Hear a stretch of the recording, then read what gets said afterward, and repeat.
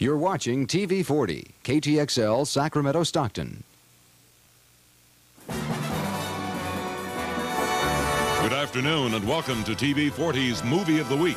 Today, James Mason, Diane Baker, and Pat Boone star in Journey to the Center of the Earth.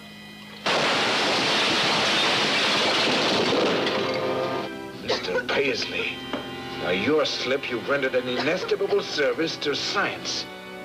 And has made it possible for them to journey Alone.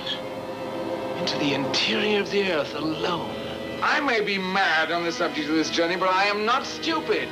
To burden myself with a female is sheer stupidity. But the journey begins. We enter the great book of history.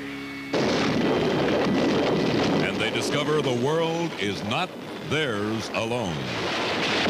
I don't have to steal what belongs to me.